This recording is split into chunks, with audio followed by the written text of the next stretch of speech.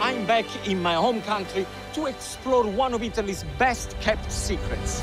This, is stunning Adriatic coast. I'm on a 700 mile journey exploring the extraordinary sights and flavors Mamma mia! It's very delicious. Mmm, wonderful! of the magnificent east coast of Italy. And its beautiful crystal clear waters. From magical Venice in the north to the most southern point of the Adriatic. Welcome to my Italian coastal escape.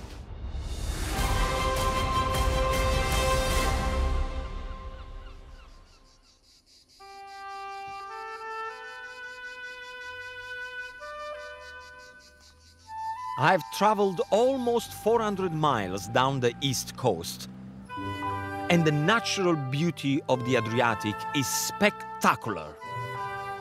I'm now more than halfway along my journey, and I'm visiting somewhere unlike anywhere else on the Adriatic Gargano National Park. Gargano is the area that forms the unmistakable spur of Italy's hill.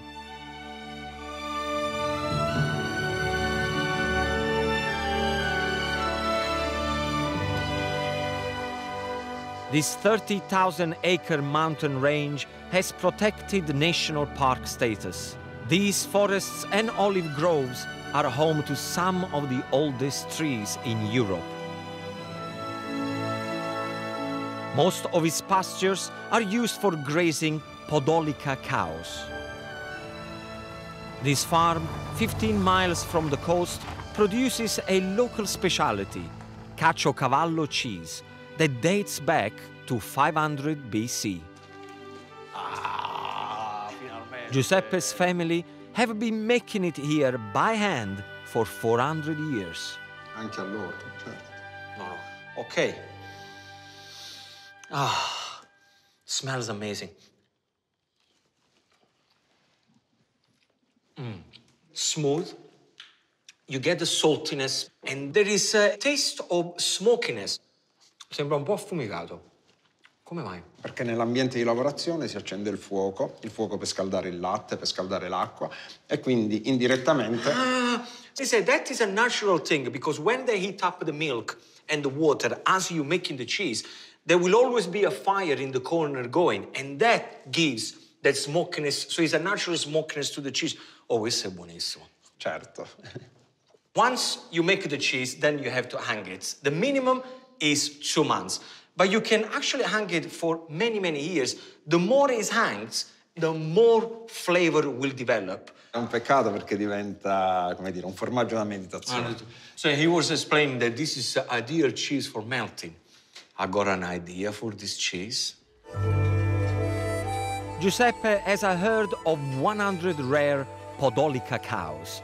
Their unique diet of wild herbs gives the Caciocavallo its distinctive flavor.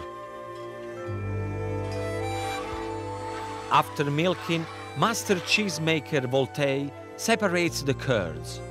He pours over hot salty water and, as he pulls and stretches, the flavor starts to develop. It's almost 40 degrees outside, and there is a fire in this tiny room. Let's see if I can handle the heat. Che caldo! Eh, mo caldo. Che caldo che fa qua. Well, I have to say, when I woke up this morning, one thing that uh, I didn't think I was going to do is stretching cheese. Okay, we can do that. Oh, nice and relaxing. Cheese making. Sempre piano piano mette in acqua. Sempre Sempre, nell'acqua. Okay, so he said keep the moisture of the water so then it stretches easier. Mette in acqua fredda in mare oh, per modo Yeah. mangiare. Then he said put your hands in cold water, otherwise you get burned. Bit too late now. Allungare, sempre allungare. Ok. E quindi la devi, la devi filare. Sì, Quante filare. volte lo devi fare? Viene più sottile più, più Meglio meglio, è. meglio.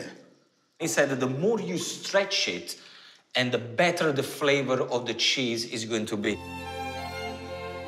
This is a dying art. Just half a dozen local farms still make cheese this way. It requires physical strength, patience, and a good firm grip. E quanti ne fai al giorno? Ma poco, tre. Prima famo quattro, due, tre, Sì, quattro. solo. sempre questo. He only makes between three and four caciocavallo a day, so you can imagine how special this cheese is. Senza rovinare. So this is the end caciocavallo. This is the end product. Now it's going to go straight into salamoia, which is uh, salt and water together. So there you go. This cheese looks like a huge This special cheese deserves a special recipe. I'm thinking one of Italy's most famous dishes. I'm going to show you a really cool vegetarian dish, melanzane alla parmigiana, which is baked aubergine alla parmigiana. And this, once you taste it, you will not miss meat at all. Cut the aubergines into centimeter thick slices. And then pour salt on top. If you have a beautiful sunny day, just leave them in the sunshine for about an hour. And what's happened? All the moisture is gonna come out and they're gonna be nice and dry, ready to be fried. Now, the first thing that you have to prepare once you've done the aubergine is to make the tomato sauce. I'm not gonna put any garlic, I'm not gonna put any onion, I'm not gonna do anything like that. I want the aubergine to be the queen of this dish. Tomatoes, I'm not gonna use fresh tomato because to make a good Italian sauce, you should never use fresh tomatoes. It's got far too much water. I'm using tinned chopped tomatoes. I'm using about four, straight into the pan with oil. In there, basil. Very important to use fresh basil. That goes in there. Salt, very important. And a little touch of black pepper. That's it, really. Cook for 25 minutes and the job is done. Oh, yes. This is perfect. All the water is out of the tomatoes. Now just put it on the side and leave it to rest. Now let me show you exactly what we're gonna do to cook the aubergine. We're gonna use half and half. Half vegetable oil, half olive oil. Olive oil tends to burn quite faster. So vegetable oil helps the oil not to burn.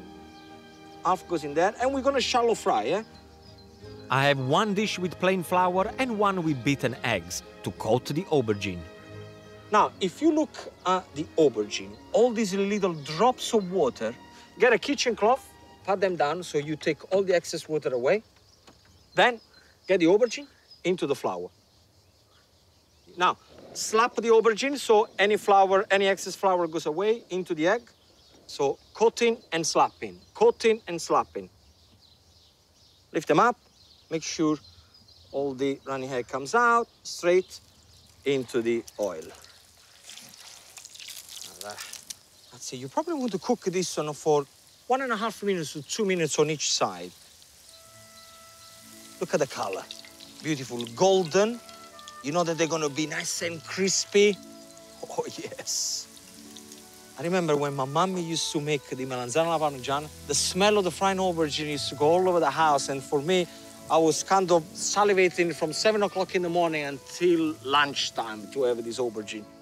I've repeated the process for 30 slices. Now, time to layer. So let's start. Aubergine on the bottom. See, that's what I want you to do. Cover the bottom completely, slightly overlapping the aubergine. Now, once you've done that, I'm gonna put a little bit of the tomato sauce, not too much, just dot it around the aubergine. This is how many people they make a mistake when they do the parmigiana. They put far too much tomato sauce. Then in goes the almighty caciocavallo. Now, if you don't have the caciocavallo, you can use mozzarella, any cheese that is going to give you that kind of stringy uh, texture. Now we go with the basil, okay? A little pinch of salt, Parmigiano Reggiano. And then we do it again. One for the Parmigiana, one for Gino. It goes in the oven uncovered for 20 minutes at 180 degrees. Now, once you take it out of the oven, it's very important you let it rest for a good 15 minutes before you serve it. Aubergine alla parmigiana should be served warm, never hot, because this is how you get the best flavor out of the aubergine.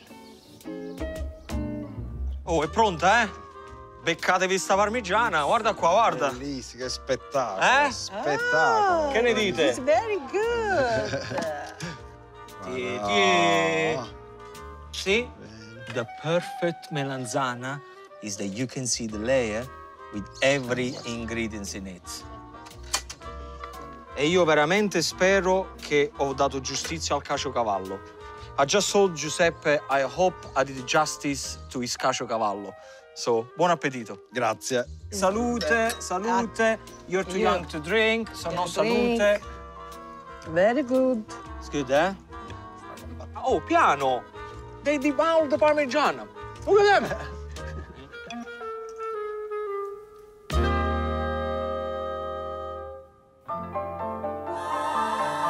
I've left the mountain ranges of Gargano behind and returned to the Adriatic coast. My next stop, 120 miles south, is the extraordinary town of Polignano a Mare. This shining gem sits on limestone cliffs above glittering waters, and I'd say is one of the most famous spots on this coast. Dolce suonava soltanto per me. Volare. Oh, oh. Now, this place 20 years ago was almost derelict. Now, it's one of the most beautiful towns on the Adriatic coast. Once a poor agricultural region, tourism has changed its fortunes. Now its enchanting narrow streets, rustic charm, and incredible views draw over 85,000 visitors each year. Dipinto di blu.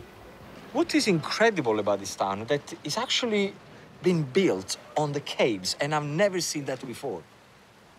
Polignano a Mare means to be at sea, and this town literally looks like it's floating almost 30 meters above the sea caves.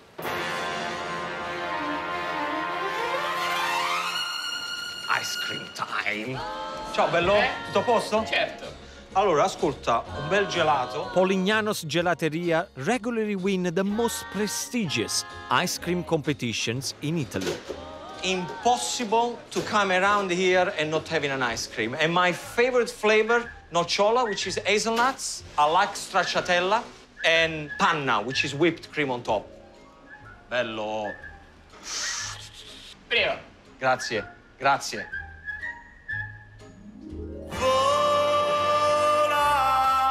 This town is also celebrated as the birthplace of the father of Italian singers. If you come to Polignano, you're gonna have to meet my friend, Domenico Modugno. In 1958, he wrote and sang what is perhaps Italy's most famous song, Volare. But it's not a singer, caves, or ice cream that brings the really big crowds here. This is the oldest house in town. Doesn't really look anything special from the outside, but apparently something special going on inside. Antonio? Ciao, Gino. Buongiorno. Come Posso? stai? Vieni, vieni, accomodati, accomodati. Ah. Vieni Gino, vieni. Qui stiamo entrando nella parte... Antonio grew up here with his parents and grandparents. So this house is over a thousand years old. It used to be a tower. Uh, so in the old days, they can look out for pirates or anyone who wants to invade uh, the town. But I've seen Roman defense towers before, and it's not the age of this house that makes it so special. Wow! Huh? Che vista! Now this is a view. Polignano's unique position so far above the sea has made the town a magnet for cliff divers. Adrenaline junkies jump from the balconies and cliff tops into the waters below, including Antonio's father and his friend, Volare composer Domenico Modugno. Antonio was saying that his dad and Domenico Modugno, they used to come here when they used to be young uh, boys and jump from the cliffs.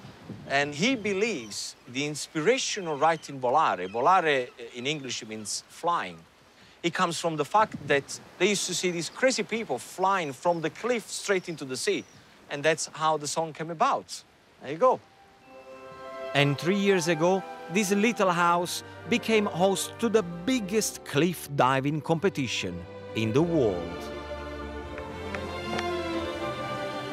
Each September, huge crowds gather to watch elite divers compete for the world title, leaping from platforms 27 meters high built from Antonio's balconies. And to get to the platforms, the divers actually walk through Antonio's home.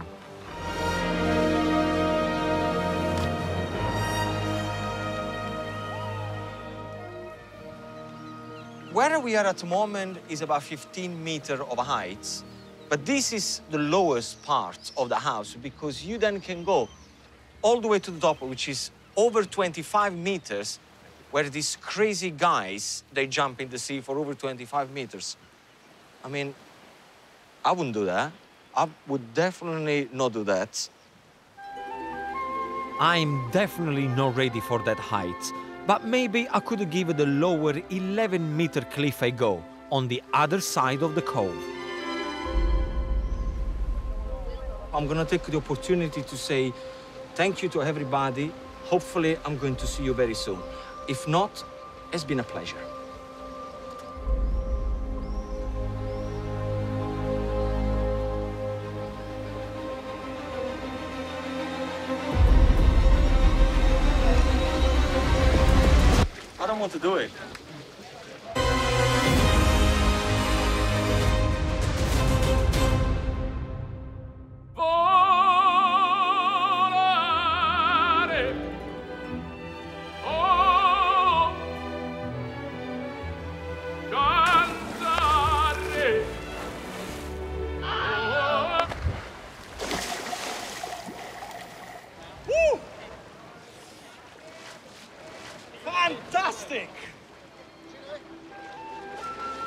I worked up an appetite, I'm going to create my version of stracotto, a local one pot lamb stew.